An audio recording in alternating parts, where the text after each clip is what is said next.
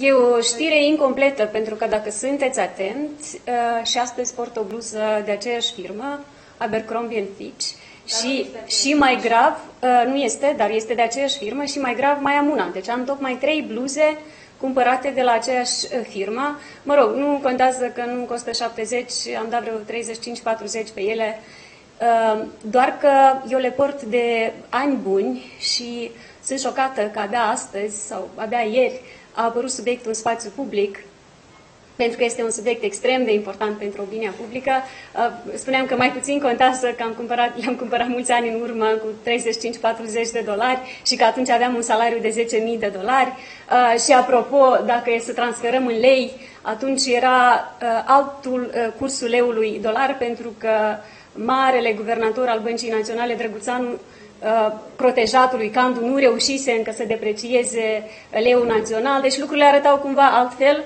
Uh, totuși mă bucur că uh, a fost sesizată opinia publică și am discutat, vreau acum doar să, să se scrie că sunt totuși trei bluze și nu doar una. Și să știți că a meritat prețul de 35-40 de dolari, pentru că și după 4-5 ani arată la fel de bine. Le-ați cumpărat când erați la... Da, sunt cumpărate de la Washington pentru că acolo prețurile sunt uh, de două-trei ori mai mici decât în Republica Moldova. Oricât de uh, straniu ar suna acest lucru, pentru că acolo este, uh, lumea are un alt, o altă capacitate de cumpărare, alte venituri și totuși comerțul este organizat în așa fel încât prețurile sunt de două-trei ori mai mici.